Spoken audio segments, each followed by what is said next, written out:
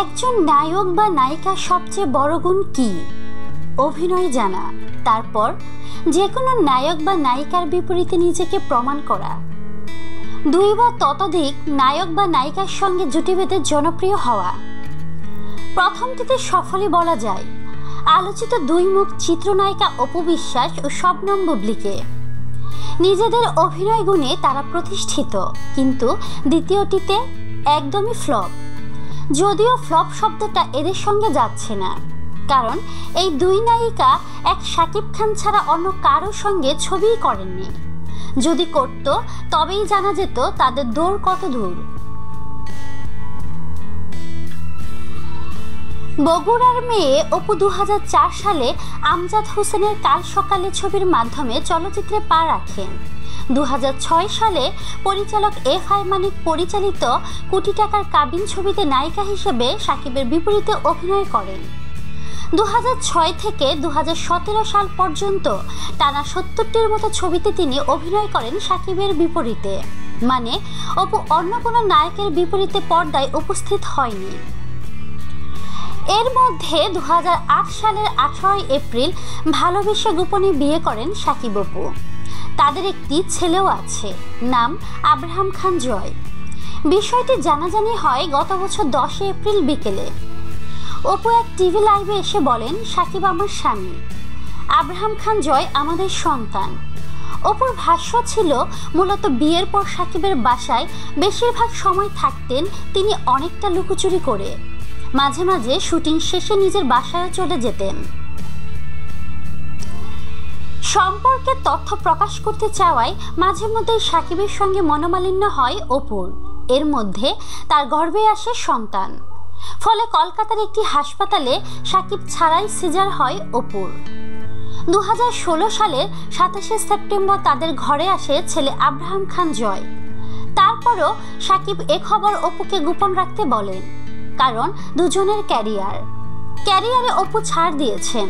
নতুন কোনো ছবি করেননি। কিন্তু সাকিব খান তো কাজ করে গেছেন, যাচ্ছেন।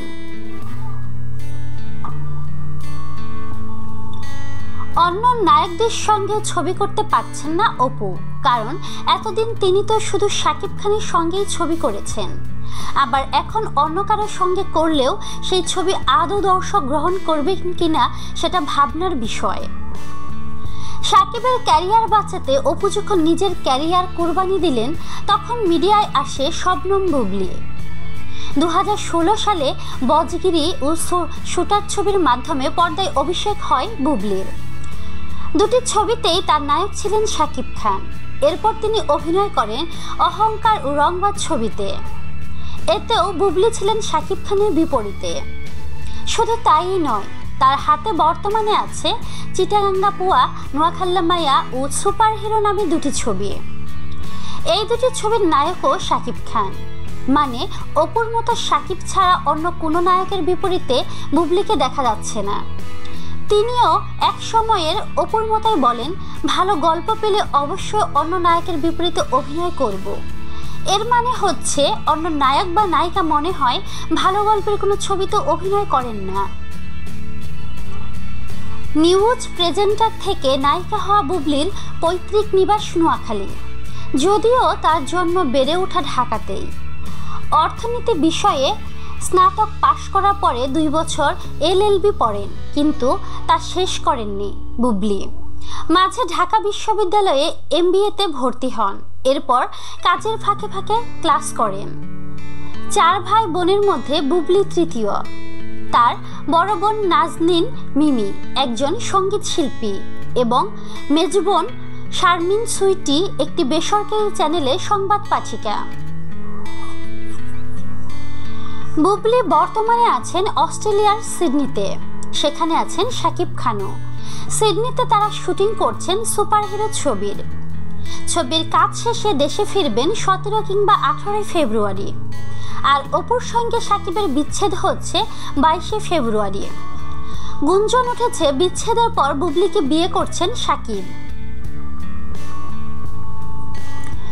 যদিও এই কথার কোনো সত্যতা পাওয়া যায়নি, তবে কথায় আছে, যা রটে তার কিছু তো বটে। বিচ্ছেদের দুই বছরের মধ্যে নাকি বিয়ে করবেন সাকিব। সেই পাত্রে বুবলি কিনা সেটা নিয়েই চলছে কানা ঘুষা যদি বুবলি হয়, তাহলে অপুর মতো আগামী দুই বছর পর বুবলিও হারিয়ে যাচ্ছেন মিডিয়া থেকে। কারণ, অপু যে ভুল পথে হেঁটেছিলেন, শুধু সাকিবের সঙ্গে ছবি করে, সেই একই পথে এর মধ্যে এক পা দিয়ে রেখেছেন শবনম বুবলি। বিয়ে করে অন্য পা দেন কিনা সেটাই দেখার বিষয়।